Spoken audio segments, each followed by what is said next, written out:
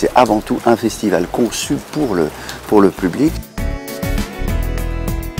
C'est le film de Cédric Lapiche, Casse-tête chinois, qui a été choisi pour ouvrir le festival. Après l'auberge espagnole et les poupées russes, ce film signe donc le grand retour de Romain Duris, Audrey Tautou et Cécile de France. Aucun d'eux ne s'attendait à un tel engouement de la part du public. Je suis content de faire ce passage de témoin comme ça euh, et de, de voir euh, là comment le, comment le public va le ressentir. quoi. Je suis, je suis contente d'être là. Et puis là, il y a du monde, donc je suis très touchée. J'adore, j'adore la queue là, c'est dingue. Jamais vu une queue aussi longue.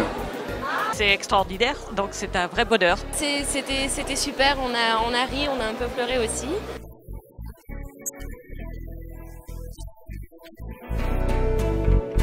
Venez voir le festival euh, du cinéma francophone d'Angoulême. Tous ensemble. Tous ensemble. Tous ensemble.